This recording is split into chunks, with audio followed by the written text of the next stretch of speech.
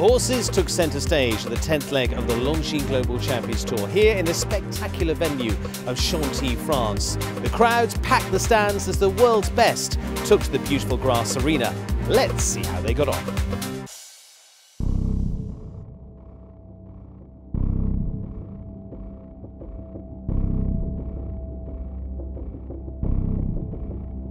International course designer Uliano Vezzani set a formidable track to challenge the stars of the sport. The crowds were on the edge of their seats as poles rolled all over the course and penalties came thick and fast.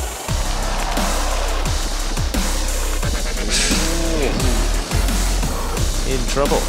Cheers resonated around the arena after French rider Philippe Rozier was the first to go clear, to the delight of the home crowd.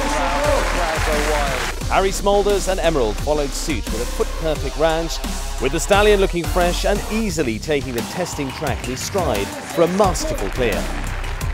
There was further dismay for the French crowds as Penelope Le exited on eight faults.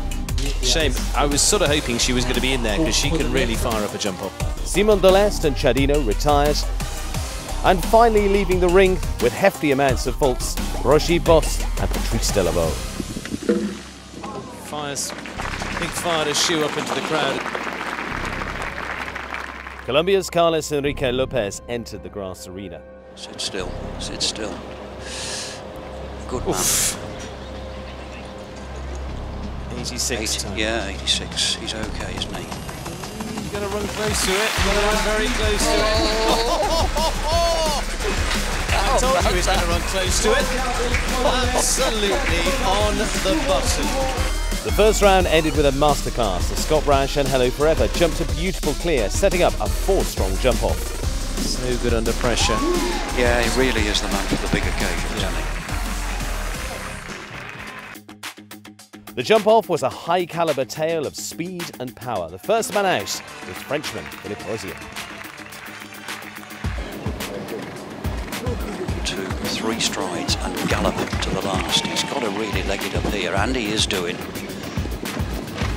got a good stride there. Good man. That's a good start. The crowd have really loved that. Is it enough? Good on form, Harrie Smolders beat his time. He's a lot quicker. Two seconds at the moment and extending all the time. More than three strides here.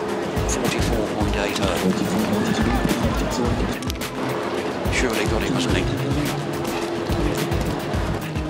Should be left it up. Yeah. Yep. Easily enough. The pressure was on for Carlos Lopez, who exited the jump off on four faults, leaving it all down to Scott Brash and Hello Forever to upset Harrie's lead. He's quick down there. Now, this is the turn he needs. 41, 6-3. Gallop, Scott. Keep going. He's getting slower. Keep going. You've got to gallop. Not got him. He hasn't, I'm afraid. It's going to be 42-82. It'll be a second spot for Scott Brash and uh, Hello Forever. Harrie Smolders will finish top on 41.63 and uh, Philippe Rozier into third in the end. They're cheering and, and also Emerald loves that and uh, it gives it, it, gives him even more spirit, and, uh, and that's what he showed today. He was he was so good.